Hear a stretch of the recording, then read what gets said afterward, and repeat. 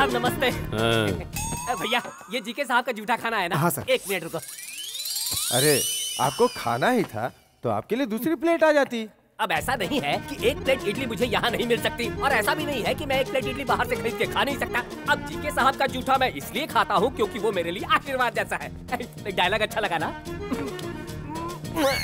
जानकी का फ़ोन है। उसने पूछा है माल यहाँ भेजू या कहीं और? जानकी का फ़ोन है? मुझे तो ऐसा लगता है कि उसने कहीं पार्टी ही बदल दी है। कब कहा बात करनी पता ही नहीं तुझे। आए अंकल। आए संजय। अपनी नज़रें जरा उस दरवाजे पे डालो। क्या हुआ अंकल?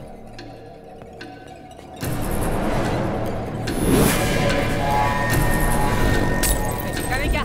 ए, तुम लोग बीच रास्ते में पीकर ड्रामा कर रहे हो? तेरी इतनी हिम्मत कि तूने पुलिस वाले पे थूका।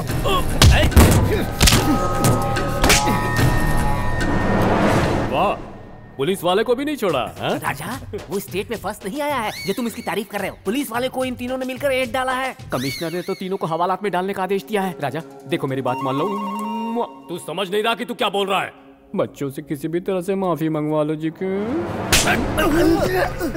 तू जैसा गधा जो चपरासी बनने के लायक नहीं उसे मंत्री बना दिया। और तू अब कह रहा है कि मेरा भाई उस पुलिस वाले से माफ़ी मांगे। फ़ोन फ़ोन फ़ोन लगाओ अभी। तेरी कुर्सी निकाल कर तुझे फिकवाता हूँ। मुझे मंत्री पद से फिकवाओगे? तब तक मैं चुपचाप बैठूँगा। मंत्री पद कैसे बचानी है मुझे पता है। तुम्हारे सामने मैं अपनी पावर दिखाऊँ अपनी पावर दिखाऊँ मैं तुम्हारे सामने? आओ मारो मुझे मारो बोल मामा को क्या मारो? मारो ज़ोर से मारो। थप्पड़ मारो। हाँ, और मारो और मारो। हाँ। जी के राजा जी के राजा तुम्हारा भाई कौन है? कौन है तुम्हारा भाई? कौन है तुम्हारा भाई? होम मिनिस्टर को मार सकता है तो पुलिस वाले को क्यों नहीं मार सकता? ये भी कोई केस है क्या? इसके लिए तुम टेंशन ले रहे हो। तुम्हारे लिए इतना भी नहीं कर सकता। पुलिस ऑफिसर्स इस पुलिस ऑफिसर को तो मैं बिल्कुल नहीं छोड़ूँगा। हाँ? अभी देखो तुम्हारे सामने मैं क्या करता हूँ। किसका फ़ोन आ गया? बोलिए सर। कमिश्नर साहब ध्यान से सुनिए। आपके पुलिस वालों ने आधी रात को दारू पीकर रास्ते में चल रहे मेरे बच्चे को बुरी तरह से मारा है। ये बात मुझे 10 सेकंड पहले ही पता चली है। एक काम कीजिए आप उन दोनों पुलिस वालों को तुरंत सस्पेंड कर दीजिए। सर दरअसल वहाँ पर हुआ मुझे क्या? नहीं सुनना क्या हुआ? वो दोनों पुलिस वाले कल से पुलिस स्टेशन में नहीं दिखने चाहिए और उसके बाद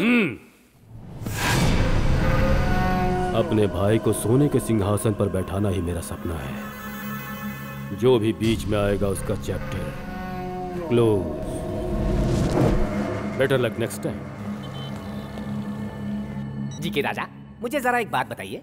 पुलिस वाले तो आपके साथ हैं फिर क्यों आप पुलिस वालों से नफरत करते हैं?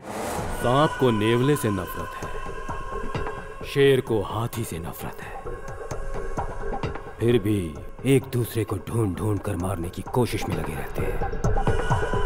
नेचुरल इंस्टिंक्ट पिछले जन्म की आग है। I hate police